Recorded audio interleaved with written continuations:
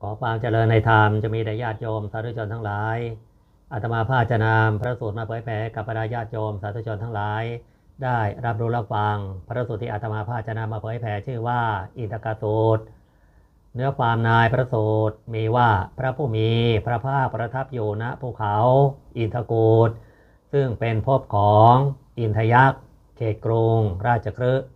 ครั้งนั้นอินทยักษ์เข้าไปเฝ้าพระผู้มีพระภาคถึงที่ประทับแล้ว กราบทูลพระผู้มีพระภาคด้วยคาถาว่า ผู้รู้ทั้งหลายกล่าวว่ารูปไม่ใช่ชีวะ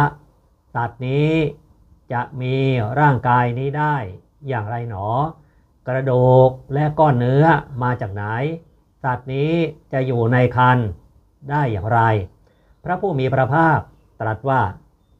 รูปนี้เป็นกาลละก่อน จากกาลละเกิดเป็นอัมพุทะ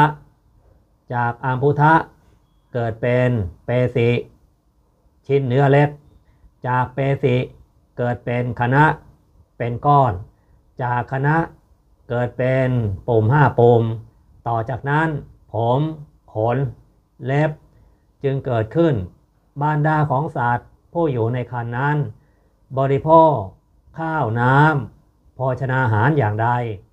สัตว์ผู้อยู่ในคันมารดานั้น ก็ยังอัตภาพให้เป็นไปในคันด้วยข้าวน้ำโภชนาหารอย่างนั้นข้อความเหล่านี้มาในพระสูตรสังยุตตนิกายตากาตวักพระไตรปิฎกเล่มที่ 15 ข้อที่ 235 หน้าที่ 337 อัตภาภาพนำมาเจริญพรให้กับบรรดาญาติโยมสาธุชนทั้งหลาย ได้รับรู้รับฟังเพื่อเป็นเครื่องประเทืองปัญญา และเป็นการประพฤติปฏิบัติธรรมสืบต่อไปอาตมาภาพขออวยพรให้ญาติโยมสาธุชนทั้งหลาย